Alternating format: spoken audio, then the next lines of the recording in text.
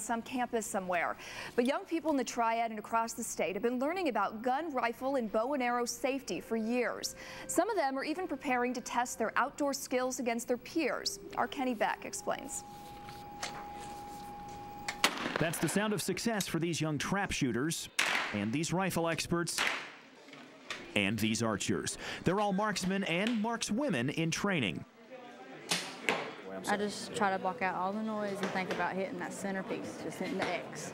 That's all I think about. It's focusing on the X. Victoria Rose Cranfill was one of more than 100 students who took part in Saturday's shooting competition at the Eaton Farm in Belews Creek.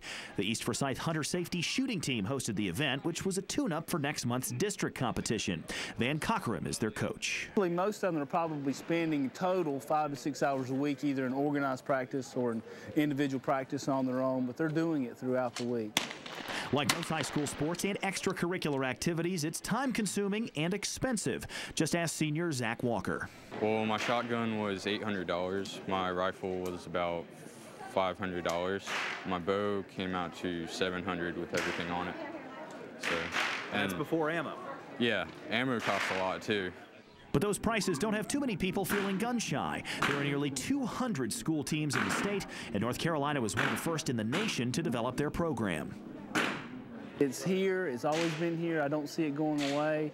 Uh, and I think if we can save some lives and, and impart some education and, and good responsibility to, at, the, at a young age, I think we'll all benefit uh, from that in the long run.